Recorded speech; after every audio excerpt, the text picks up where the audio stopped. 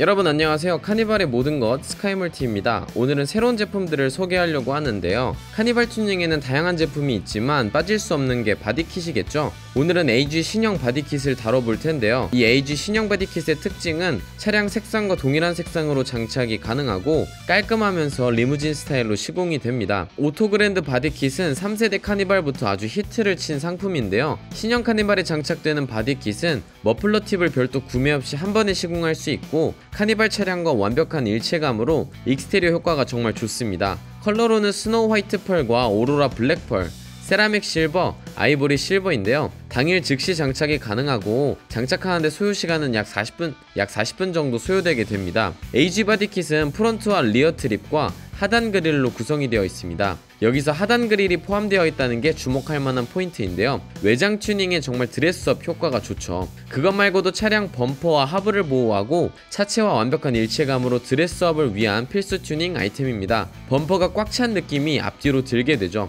AG 세로 그릴도 있는데요. 블랙과 크롬 색상이 있어서 AG body kit과 일체감이 뛰어납니다.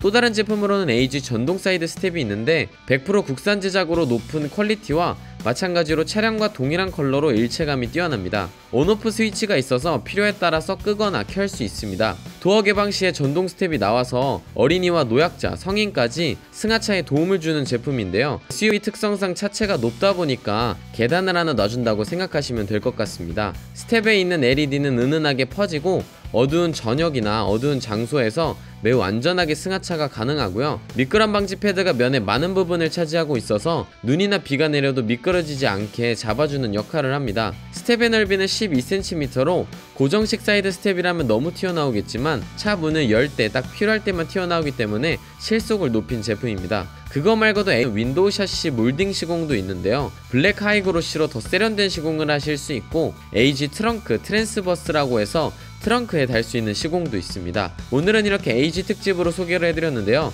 저희는 루프박스부터 차박 레일 등등 카니발에 관련된 모든 튜닝을 하고 있고 총판점인 만큼 넉넉한 재고로 시간이 부족하신 분들에게 가장 최선의 서비스와 맞춤 시공을 해드리고 있습니다. 저희는 평촌의 외제차 거리에 위치해 있고 궁금한 점이 있으신 분들은 유선 전화 주시면 친절하게 상담드리고 있습니다. 이상 스카이물티였습니다.